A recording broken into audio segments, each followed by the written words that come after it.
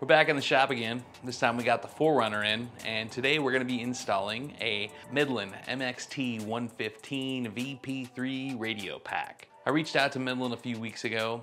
Um, we've be recently become an affiliate with them, and I reached out and pitched them an idea of making a few videos uh, based on some of the things I see as an inherent advantage for people to be using GMRS radios, and they were good enough to send out one demo unit for free for us to try and make these videos with.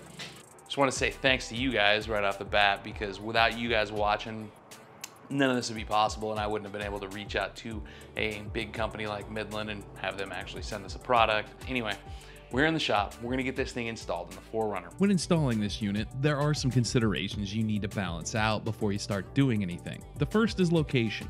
Are you going to be able to easily access the radio while also not having it in your way? We found the location immediately to the right of the steering column is providing the best balance of being out of the way and still being usable. The second consideration is how are you going to get power to the unit? Now there are two ways to run this thing to the power you're going to see inside the box a set of wires attached to a cigarette lighter plug. Now, if you want, you can just take the cigarette lighter plug, plug it directly into the 12 volt cigarette lighter port in your car. I guess I'm calling it a cigarette lighter, but does anybody still smoke in their car anymore and actually use the lighter that comes? Do they even sell the lighter for that port anymore? I guess we'll just call it a 12 volt socket. Anyway, there's a plug for the 12 volt socket, but you can also, per their directions, clip it out, attach some connectors and either hardwire it to your battery or run it into one of your accessory plugs somewhere, which we're gonna do the battery plug today because this thing's kind of limited on the accessory plugs off the fuse box. And for me, it's just simpler to run it to the battery with the positive cable, bolt it down, and then always know that whenever I wanna turn this radio on, I can just hit the button and turn on. I don't have to have the ignition of the car turned on, which to me in a situation where maybe you lost your keys or whatever. I just want to be able to know that I can use this thing without having the keys in the car. The flip side of that coin, you got to make sure that you're shutting it off every time you're done using it or it is going to drain the battery. So without any further ado, let's get in there.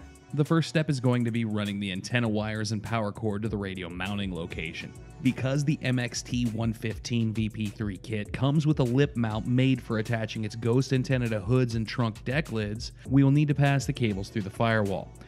There is already a wire loom pass through in the driver's footwell we are going to utilize. Go ahead and pop that grommet free from the engine bay side. Remember this guy, right? Okay, we're gonna take this in, it's gonna connect to the radio. We're gonna shove it through the firewall along with this plug, which is the patch cable for the antenna mount. Both of those ends are gonna be pushed through the firewall. We're gonna catch them on the other side.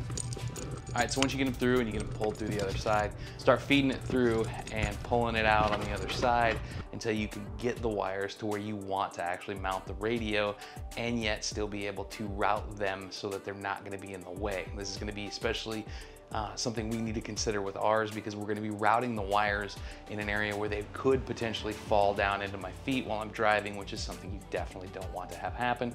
So we're gonna spot where we're gonna mount the radio and then we're gonna go ahead and set the bracket in. The bracket is very easy to mount. It just comes with some screws. You might wanna drill some very, very small pilot holes or just push the screws all the way in depending on what surface you're gonna go with. We're gonna be mounting it in a plastic, so these things should be able to drill their way in. Once you've got the radio mounted and in the bracket, go ahead and connect the antenna and power cables to their respective spots in the back of the radio and then finish tidying up the cables in the cab. Okay, so now that we have that done, we're gonna wanna go ahead and clip off that 12 volt connector right at the end of the wires. We're gonna do this and then we're gonna patch in a set of connections. I ended up needing to build extra leads so both the positive and negative wires could reach their respective destinations. Fortunately, I had enough 14 gauge wire lying around, in addition to some crimp on post connections in my electrical kit. You should have some way of making basic electrical repairs in your rig for field emergencies, and I put a link in the description below to a well stocked one I like to use. I wouldn't take an older vehicle to the field without one, since electrical connections and wiring can deteriorate significantly over time, and without a good way to patch a field repair together, can leave you stranded somewhere. Don't let this happen to you.